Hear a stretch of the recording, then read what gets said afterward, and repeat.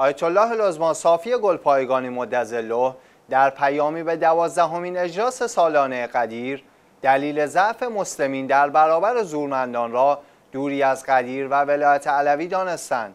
به گزارش شیعه ویوز به نقل از پایگاه اطلاع رسانی معظم الله ایشان با اشاره به حدیثی از امام رضا علیه السلام فرمودند آسمانیان این روز بزرگ را بهتر می‌شناسند و بهتر از ما از آن تجلیل و تکریم می نمایند.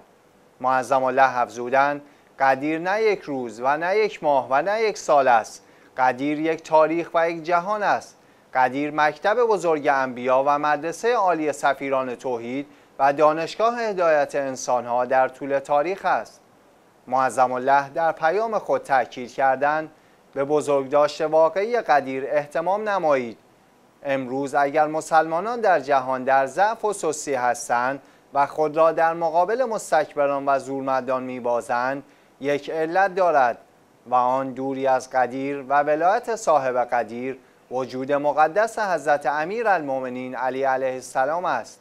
ایشان در پایان افزودند وظیفه همه ما و شما این است که مردم را بیشتر به معارف قدیری آشنا کنیم و در این راه در طول سال با تشکیل کلاس ها و درس ها از کلمات نورانی اهل البیت علیهم السلام کمال استفاده را ببریم.